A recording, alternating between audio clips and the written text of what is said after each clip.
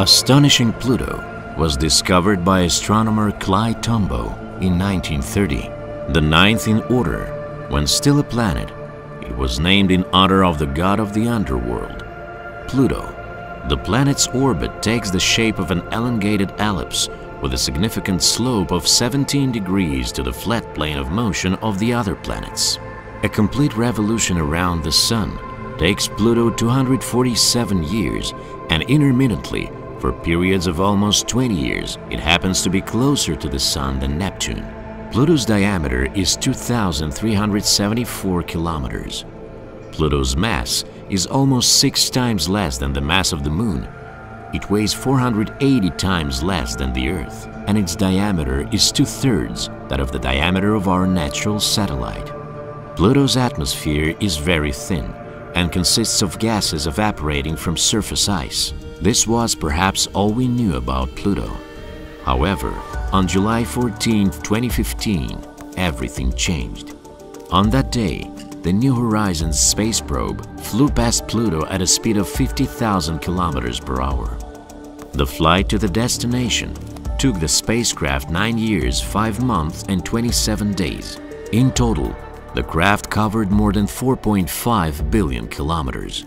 Thanks to this mission, researchers have obtained high-quality images of Pluto and made many discoveries. Among other things, they have discovered cryovolcanoes on its surface, have postulated the existence of a subsurface ocean, and discoveries continue to be made to the present day.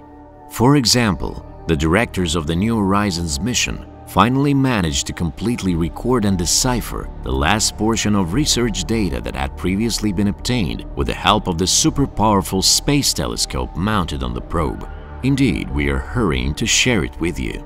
It turns out that the subglacial oceans of Pluto are one of the most interesting places in the solar system from the standpoint of the existence of conditions for life are concerned, with the exception of Europa. However, so far very little is known about how they formed and what is happening in them under the multi-kilometer shell. But all the same, the results of the survey were a real surprise to the mission's directors. No one had imagined that distant Pluto would not look at all like a smooth billiard ball, but would have an extremely complex relief, reflecting the history of its origins. In the new images, Pluto turns out to be covered with recently formed mountains, ice plains, methane ice dunes, and even icebergs drifting through nitrogen. In addition to that, the ice crust of the celestial body is strewn with countless cracks that looked like traces of recent tectonic activity. They were the first indication of the existence of a giant subsurface ocean on this dwarf planet. Soon other evidence emerged supporting the presence of liquid water under the planet's icy crust but how and when it originated on Pluto remains a mystery to this day. But we now know that at one time, Pluto was originally cold. This means that it grew slowly, accumulating ice material from the outer solar system, and at first there was no ocean on it. Water in liquid form only appeared on Pluto after the core of the dwarf planet warmed up as a result of the radioactive decay of aluminium-26 and gravitational interactions with its satellite, Charon. In this scenario, geologic faults in the celestial body would have retained signs of surface compression. Why compression specifically? The fact is that the heat emanating from the depth of the planet would melt the lower layers of the ice, turning it into liquid water, which as you know takes up less space. As a consequence, Pluto's ice crust would have begun to contract, which would lead to the formation of distinctive geological traces. And what have we learned about Pluto's atmosphere and climate? Pluto's atmosphere is predominantly composed of nitrogen with minor traces of methane, ethane, ethylene and other gases. It is extremely thin. It has a pressure about 1000 times less than that of the atmospheric pressure on Earth. Nonetheless, it has great influence not only on the climate, but also on the geology of the dwarf planet.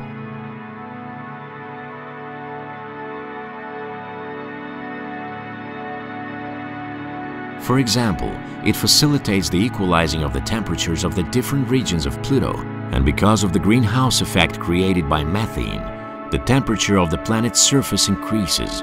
Also, new data have demonstrated that some segments of the surface of the dwarf planet actually have snow caps, which are formed in a completely different way than they are on Earth. If on Earth, we are often able to observe the conversion of clouds into snow on mountaintops since temperature decreases with increasing altitude, then on Pluto there is conceptually the inverse process. Since the atmosphere there becomes hotter as the altitude increases, correspondingly, the physiochemical traits of the process of the formation of snow and snow caps on Pluto differ dramatically. In this case, calling it methane ice is the most accurate conclusion. And finally, it turned out that the change of seasons on Pluto occurs not because of the tilt of the planet's axis of rotation as on the Earth, but is due to the elongated orbit. Over the course of a revolution around the Sun, which takes roughly 250 Earth years, the amount of heat received by Pluto changes almost three times. As a result, the density of the atmosphere fluctuates significantly. In the long summer, which lasts a little less than half of the Plutonian year, the frozen gases evaporate and in the winter they again revert to a solid state. They evaporate from the most brightly lit and warmed areas and settle in colder areas. This process ensures that gases are carried over the surface of the planet and over millions of years have sculpted the most amazing forms of relief. What comes next? New Horizons has raised more new questions for us than it has cleared up old ones. But most unfortunately, no new missions to Pluto are planned for the near future. So it will be a long time before we get new information comparable in value to that which was received from New Horizons.